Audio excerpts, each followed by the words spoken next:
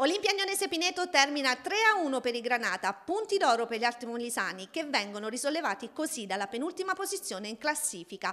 Ma anche il Pineto arriva a caccia di punti necessari per i playoff, presupposti che si riversano tutti nel match. E la migliore occasione la vediamo al tredicesimo con il tentativo di Ancora di servire Formuso che manca di pochi centimetri l'impatto con la sfera. Assistiamo ad una prima frazione di gioco in cui nessuna delle compagini si scopre e gli ultimi metri sono difficili da raggiungere da ambo le parti. E arriviamo così al 41 minuto per annotare questa conclusione di Tomassini che termina alta. Poco dopo è la volta di massa con una conclusione che questa volta finisce a lato.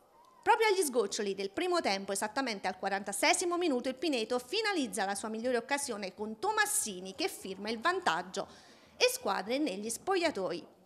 Al ritorno in campo la percezione di un cambiamento si avverte fin da subito. I Granata sono accompagnati da grinta e determinazioni. Al quinto minuto Diarra trova la conclusione, ma riesce ad arrivarci a Madio e angolo per i locali. Con la sfera che nel proseguo di gioco arriva ad Ancora che la spedisce però sul fondo. Arrivati al settimo minuto si ristabilisce la parità con Bisceglia che riceve da Ricciardi ed è 1-1 al Civitelle.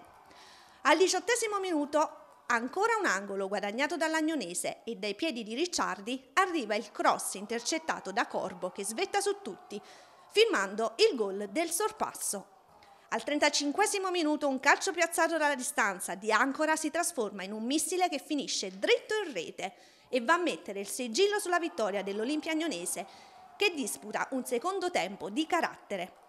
È l'Agnonese a tenere il pallino del gioco e lo mantiene fino alla fine, lottando su ogni occasione a disposizione per restare attaccata alla salvezza. Sconfitta per il Pineto che esce amareggiato dal Civitelle, ma consapevole degli errori commessi sul campo.